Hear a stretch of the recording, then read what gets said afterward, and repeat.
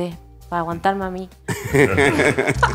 Hombre, tienes tus cosas buenas también, joder. Hombre, sí, yo creo que sí, ¿eh? Yo creo que sí. Pero, hombre, sí. Ajá. Y tengo entendido que os casáis.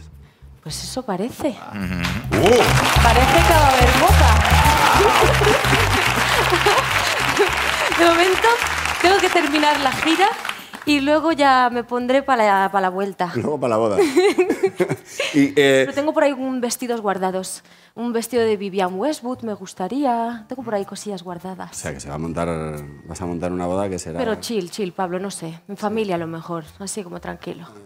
poca, veremos, veremos. poca gente. Siempre empiezas así, ¿eh? Luego, Ya, luego vas sumando, luego ¿eh? empiezas, luego ya son 300. Ya, ya. No sé, vamos a ver, a ver cómo termina esto. Oye, ¿cómo, ¿cómo te lo pidió?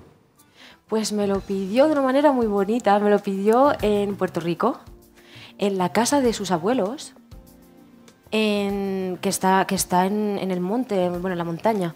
Y se veía Puerto Rico, todo Puerto Rico, y había fuegos artificiales porque habían sido las campanadas. Bueno, las campanadas se dice, bueno, como que ya había... Sí, bueno. Fin de año. Que ya de había, año. sí, que ya habían, ya habían pasado al siguiente año. Y justo habíamos subido para la terraza y yo no me lo esperaba. Y de golpe él, yo veo que se me, que se me, me dio a rodilla y, y buscaba algo y no lo podía sacar en la, la- la caja.